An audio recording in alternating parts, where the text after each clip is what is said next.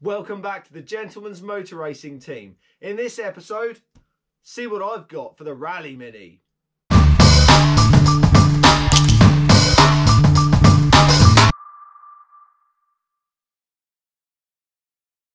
It's been a while since I've placed an order with anyone, to be honest.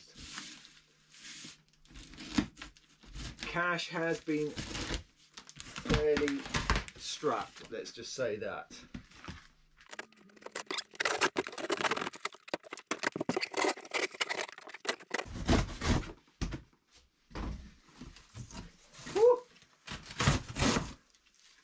No, it's the wrong way round.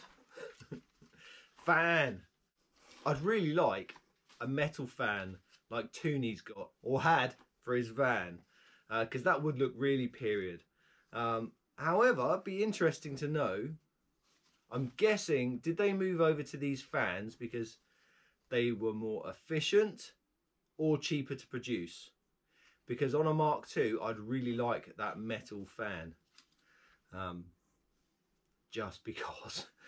Uh, but yeah. Oh, there's some size differences as well, isn't there? I think the reason Tooney hasn't fitted it to his van is it wouldn't fit in the shroud. So are the two-piece ones and the one-piece ones different size? We'll have to find out. Anyway, I need one of those. Whether I put it on the Rally Mini or not. Look at that. That's very eco packaging, isn't it, from Mini Spares? Well done, Mini Spares.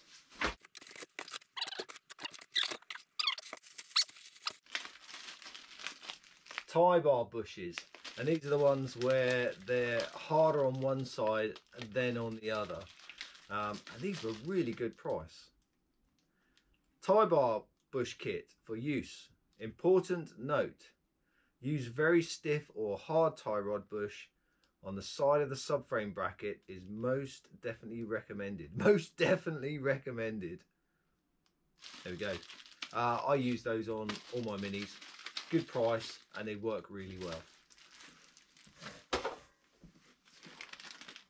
What's that? Oh, thermostat gaskets. Uh, I just bought two, one for the build and one for a spare. You've always got to have a spare, whether it's, I don't know, whether you're on the road or racing in that kit. What is that? okay, this is the rocker cover that's going on the Rally Mini. Yeah, I'm going for the period look. Uh, and I have somewhere. Oh no, they sent me the wrong one. Or I've ordered the wrong one. Dick, name it. Or maybe they've sent me multiple ones.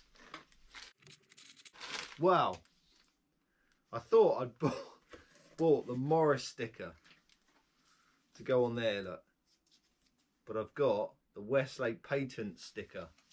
So I really want them. Now I've now got it. I'm going to stick it on there anyway but I want the Morris sticker to go on there. Now I have got the aluminium plates, the ones that you rivet on. And I don't know who it was. I was watching someone and they said, well, if you do that, you can't just use like a normal rivet. Um, because you know it has like the pin that you pull to squidge it. If that, and then it snaps off and it leaves a little bit of it in there to plug the hole effectively. And they said, quite rightly, if through vibration or time or heat or anything like that, that little stub of the pin in the middle of your pop rivet falls out, it's going to fall into your engine and cause an awful lot of carnage. Um, so they said if you do that, you have to punch that pin out and fill it with a bit of metal filler or, or anything, you know, something to stop that from happening. And I was like, well, yeah, you're right. I do like the steel. It looks good. But do I want to run the risk of stuff ending up in the engine bay uh, engine. No, I don't. So I thought, oh, you know what? Go for stickers. It looks like I've ordered the wrong sticker. Never mind. It's not the end of the world. I can always order another one. Oh, here we go. This is for the rocker cover as well. So that's uh, new seals that go on the top. Those bits there, because they've, as you can see, I've had it So I've been painting the entire engine in that old, whatever it is, block enamel gloss BMC Mowog Green. I've hand painted it, and I have, you know, if you want to see someone that's done a very good job, go and see Tooney. So he, I'll leave a link to his channel down below. Um, my engine's going to get covered in dirt and grease and all sorts of stuff. So I like, want it to look nice, but it is no trailer queen. Um, valve stem seals, the brown ones, which I think are on the uh, MPIs or SPIs. They came as standard, and apparently they're much better. They don't they don't deteriorate or go hard as quickly as the black ones. Um, so I bought enough to rebuild this head, which is going on the race engine, and rebuild the other head, which is going on the other race engine. Yeah, I've got two now. Got to have a spare. What's that? Oh, that's the shake washer. Shake washers that go onto the brake pipes that go onto the front subframe. That was my sticker. Oh, those are bottom arm bushes. Yeah, and I've even though these are poly, I think um, I've gone for black because I don't I don't want the in your face ricer look. This is it's not interesting.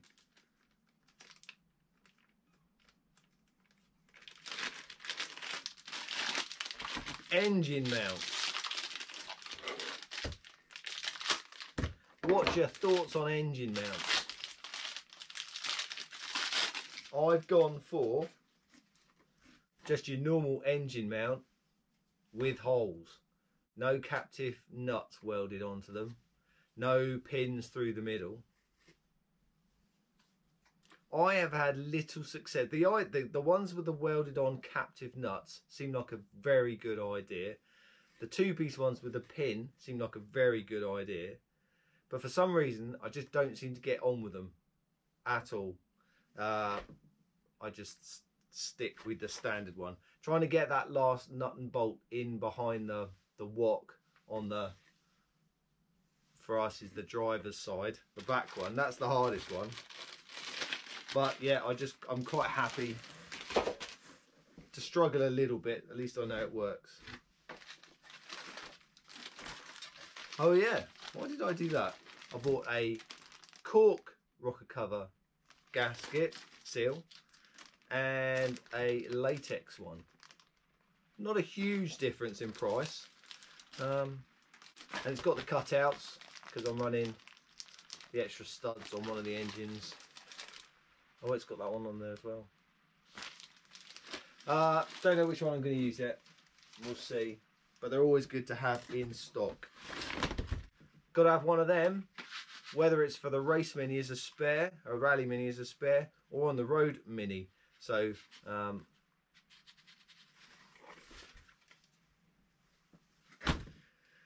all these big wiggly things.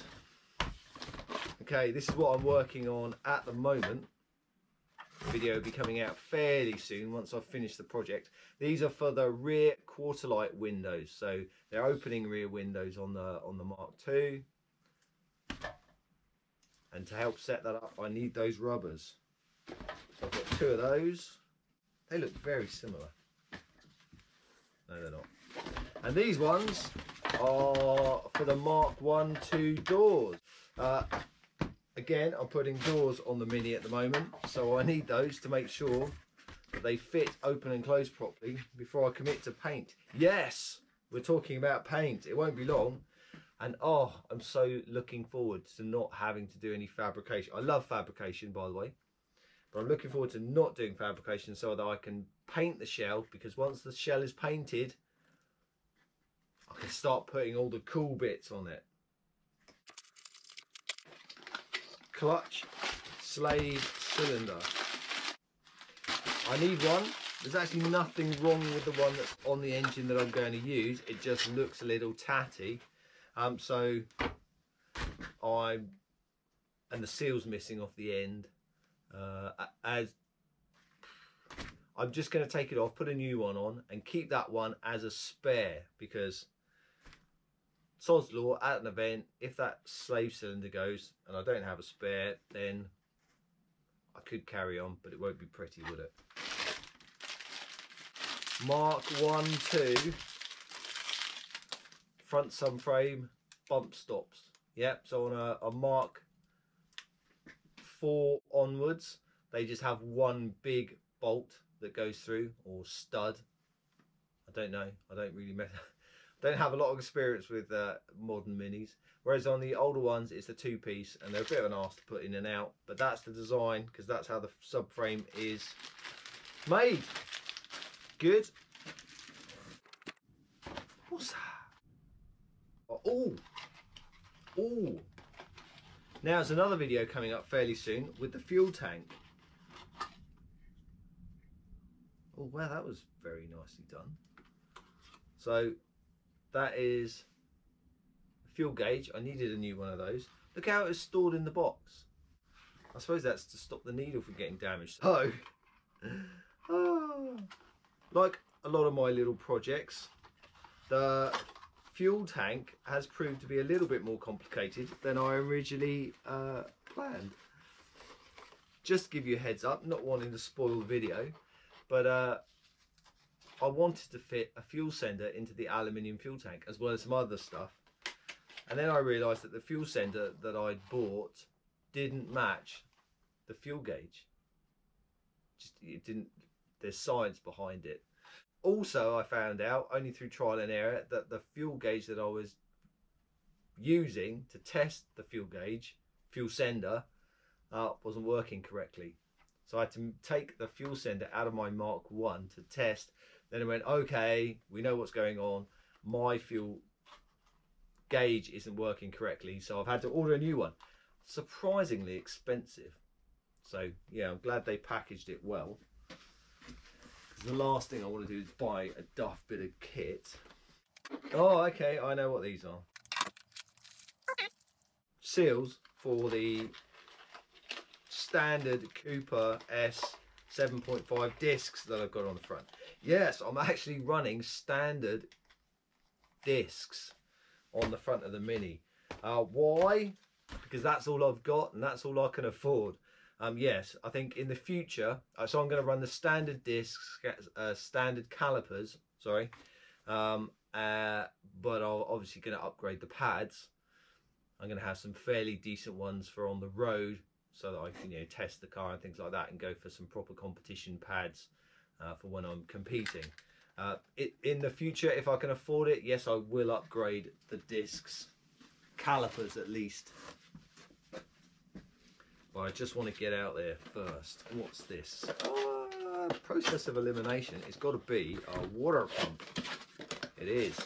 Again, oh, it comes with a gasket. That's good, isn't it? Oh, this is the one with the plastic or whatever you want to call it, doodah. And no bypass. Nothing wrong with the water pump that was on my engine. When I took it off, it was just a bit gooey in there. So it needs a good clean out. Uh, and I will keep that one as a spare. Put that in the spares package when we go rallying uh, and fit this one to the engine. So that's good. This bit is not for the rally mini. What's that? Slave cinder. Okay this bit is not for the rally mini this is for the mark 1 oh okay why yeah, well, the, the one on the Mark 1 is actually getting a little bit rusty. Um, it's actually started to corrode along the bottom there. And there's a bit of flex in this part of the metal. And I went, well, hang on, that's the bit that actually holds your seat into the car. So I thought, I'll buy a whole new panel. They're not, because I could just repair it. But I thought, at the price, I'll get it and we'll see. I might have to fit it before we do um, IMM 2020, which is in Germany. Yeah, I don't want to be um, driving down the autobahns. I don't want to crash full stop. But if I crash, I also don't want my seats to become detached from the car. Now here's the really exciting bit. Guess what I've been using as a table during this video? Boom, a dishwasher. Look at that. So this is donated to the team. uh, and I'm going to fit it in the garage so I can wash car parts. That's brilliant. So, if you've enjoyed this content, not very exciting, I know, but if you have enjoyed it, please consider subscribing. Check out some of the other videos, and we'll see you next time. Ta ta for now.